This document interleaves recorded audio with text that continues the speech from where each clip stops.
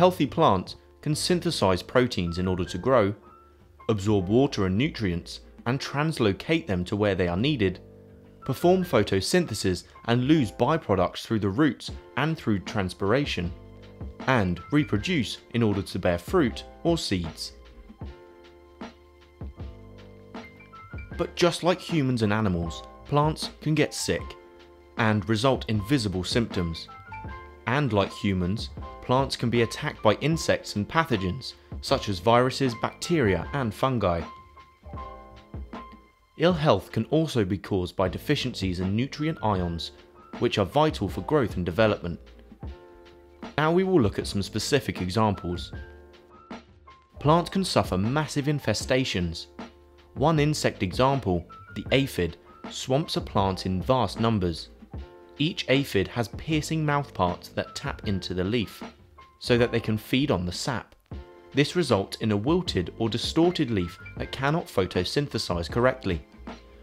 A byproduct of all this eating is a honeydew that they exude from their hind gut, which often is collected by ant soldiers who guard over their flock.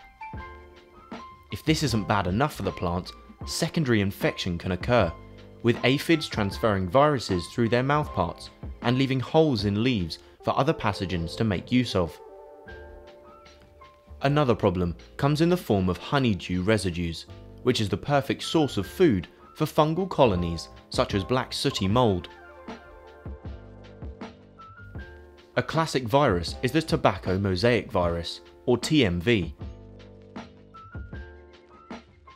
It has a rod-like structure consisting of a coat of proteins positioned helically around a single strand of RNA, and was actually the first virus to be described by Adolf Mayer. But can enter wound sites. Once it's in, TMV can hijack plant cells to aid its own replication. As the name suggests, the virus leaves a mosaic pattern on the leaves and also causes mottling, cellular death, stunting and leaf curling. This virus can devastate tomato crops. An example of fungal infection in plants is black spot fungal disease. It can infect any plant with fleshy leaves and it's really common in roses. This is a big problem for ornamental growers where looks are everything. A spotty plant can affect its value. Sometimes, disease is not caused by an infection, but by a nutrient deficiency. In fact, plants can be damaged by a range of ion deficiency conditions. For example, stunted growth caused by nitrogen deficiency. Nitrate ions are needed for protein synthesis and are therefore important for growth and repair as well as all of the plant's enzyme controlled functions. Another example of nutrient deficiency is a change of leaf colour called chlorosis, which is caused by magnesium deficiency. Magnesium ions are needed to make chlorophyll, which is essential for photosynthesis and energy production.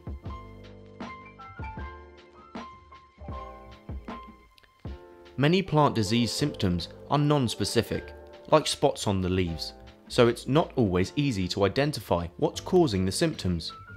Identification can be made in a range of ways. For example, reference to a gardening manual or website, taking infected plants or a sample of a plant to a laboratory, or using testing kits that contain monoclonal antibodies.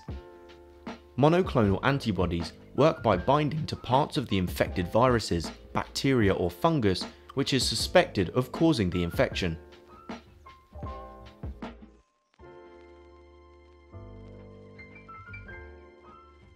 Sometimes plants do not show symptoms because they, like humans, have evolved a range of ways to avoid and fight infection. The first barrier to infection is the plant's preformed defences.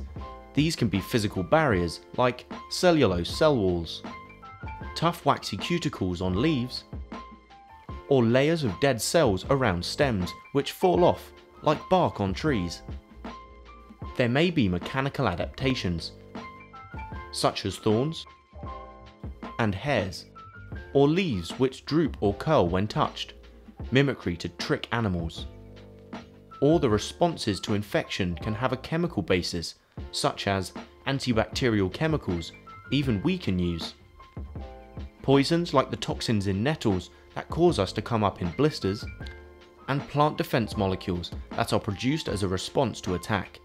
These chemicals can affect the pathogen or insect directly or induce cell death to stop the attacker in its tracks.